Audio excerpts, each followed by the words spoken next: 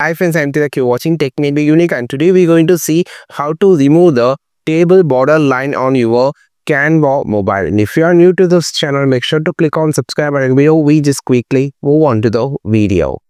So in this video, I'm just going to show how to remove the table border in your Canva mobile. So for that, first I'm just going to insert a table here. So I just pick this red color table. So now here you can find there is a table border red color. So click here so i just going to number this like one just fill a data for this all the cells. Now we just need to remove the border of the of this of this table. So first you just need to click on the click on the table select the table for entirely click on the border section. Here you have a lot of other options like a border trails here. So here instead of red color just choose white color.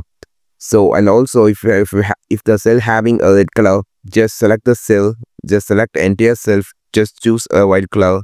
So now you can see the the cell border has been removed but if you just select the table it will be moved the whole part will be more everything will be more but the cell borders has been removed. It will be look like there is no border in the table. This is how you just remove the border in the table on your canva mobile. I think this video helped you a lot. Like this video share this video subscribe this channel. We will meet our next video with a super valuable content. This is tilak signing off from tech made me unique have a wonderful day